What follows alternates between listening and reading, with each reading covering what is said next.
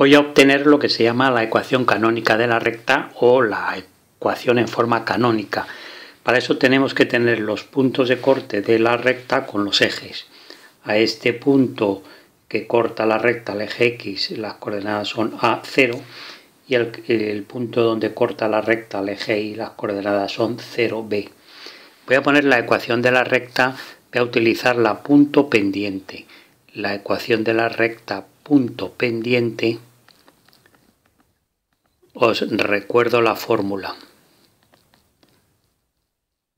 Si tenemos dos puntos, voy a llamar a estas coordenadas x1 y 1 de este punto y a las coordenadas del otro punto x2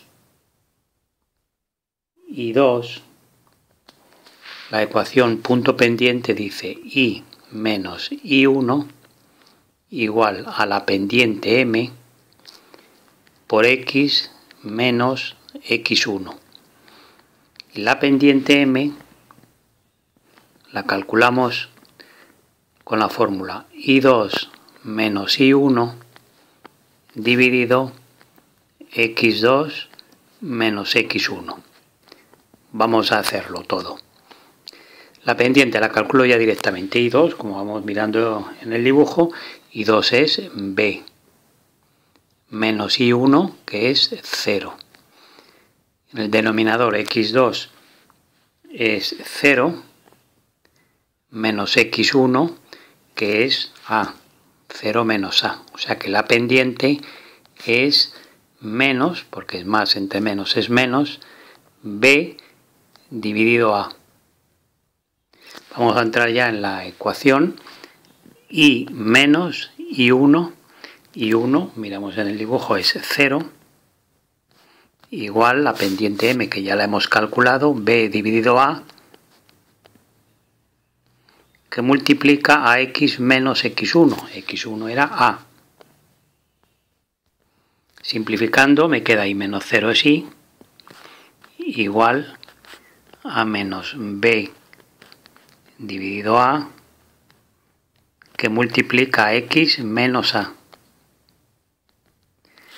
Como todo eso está multiplicado, el a la puedo pasar al primer miembro.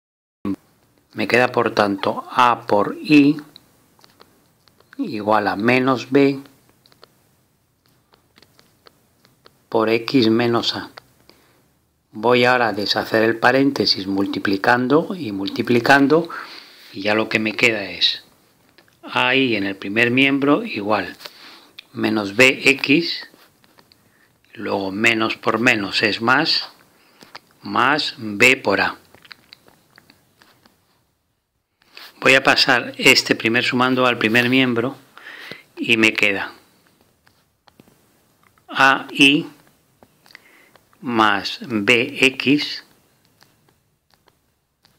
igual a B por A. Y ahora lo que voy a hacer es dividir toda la ecuación entre b por a. O sea, este sumando entre b por a, este otro entre b por a y este entre b por a. ¿Qué es lo que obtengo? Pues aquí puedo simplificar la a y me queda i dividido b más Aquí puedo simplificar la b y me queda x dividido a. Y aquí como numerador y denominador son iguales, me queda un 1. Esta es la ecuación canónica que se suele escribir en este orden. x dividido a más y dividido b, es decir, los puntos de corte con los ejes, igual a 1. Y esto es la ecuación de la recta escrita en forma canónica.